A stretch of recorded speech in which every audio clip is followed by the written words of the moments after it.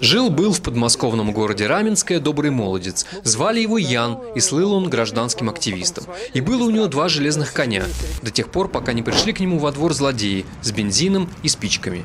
Зашли они как раз вот с этой стороны, бегая. Там такое ощущение, как будто сверху. Вон камера стоит, видите, А, наверху. вот Весь пожар от поджога до тушения запечатлела камера видеонаблюдения. Да и сам Ян догадывался, кому это было нужно, но полиция особого рвения почему-то не проявляла. В момент тушения пожара пришел полицейский, постоял издалека, все это как бы запечатлел глазами своими, без какой-либо фиксации, вот, э, опросил и ушел. По какому-то волшебному совпадению, буквально накануне пожара, добрый молодец из Раменского вступил в неравный бой с силами местного жилищно-коммунального хозяйства. На территорию въехали. Какую? На главного инженера поставили место. Вы что? И что? Ничего, просто отъехайте. Давай, отходи отсюда.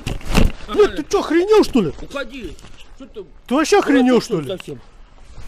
Въехал сюда. Руки убери от меня свои! Я пришел просто оплатить квартиру. Когда меня толкнули, да, я немного уже возбужден стал, потому что, ну, блин, реально незаконно заняли общегражданскую собственность, непонятно на каком основании. Случайно снятое видео он выложил в интернет, и запись наделала много шуму. И кажется, этот случай для кого-то стал последней каплей, ведь Котелевский давно и настойчиво сует свой любопытный нос в коммунальные дела города. Технологии у нас вообще не соблюдаются. Делается, ну там, в смете написано 300 КАМАЗов земли. У нас привозят 3 КАМАЗа земли, и то утилизированные, которые со стеклом, с покрышками сбит, и размазывают такие. И мы, говорит, привезли 300 КАМАЗов земли. Котелевский утверждает, что коммунальщикам покровительствует городская администрация, поэтому и правоохранительные органы на нарушения в сфере ЖКХ не реагируют. Мы неоднократно просили, требовали, полицию узнавали, какие здесь работы проводятся. Никто нам ничего не говорил. Заявление подавали, никто работы не останавливал. Они так продолжали пилить наши деревья.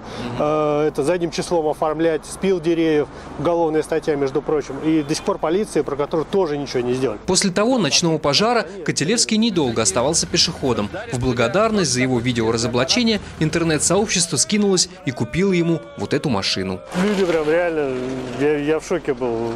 Особенно друзья все там сразу кинули видео, там, да это, давайте поможем. У меня слов нет. Теперь, чувствуя такую поддержку, он обещает и дальше разоблачать нерадивых коммунальщиков и чиновников, несмотря на поступающие угрозы. Последнее сообщение, ну, преду- предупреждение мне пришло, что, в принципе, убивать они меня пока не хотят, но вот покалечить очень хотят, если я не успокоюсь дальше. Он и не собирается успокаиваться и говорит, что не боится физической расправы, потому что верит, что сказка возможна и в его родном Раменском, и что добро обязательно победит зло. Вадим Кондаков, Станислав Феофанов. Настоящее время.